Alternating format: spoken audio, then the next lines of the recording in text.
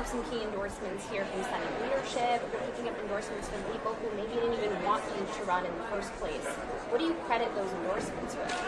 I think looking at my policy, it's very common sense policy. It's going to help get America back on track. And the people who uh, have offices in these buildings recognize the importance of getting a majority in the United States Senate. It's, it's imperative to save our country that the Republicans, the common sense Republicans, take back the United States Senate. This is when it's going to come to with President Trump at the helm in the White House, getting his cabinet picks through, getting his judicial picks through, and getting some common sense legislation through to get us through these difficult times. The Democrats under Joe Biden have ushered us into very dangerous times.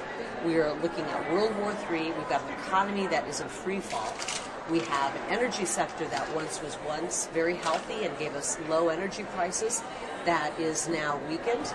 And pretty much everything Joe Biden and Ruben Gallego touch um, does not go well. These are all self-inflicted wounds, and it's going to take common sense Republicans to get us out of this, and that's why we're rallying behind them. We're going to have a couple of other really big endorsements coming here in the next uh, couple of days. Can you give a preview? Uh, well, I think there's going to be people who are vying for leadership positions, people who are truly incredible leaders in the America First um, movement who are going to be endorsing me.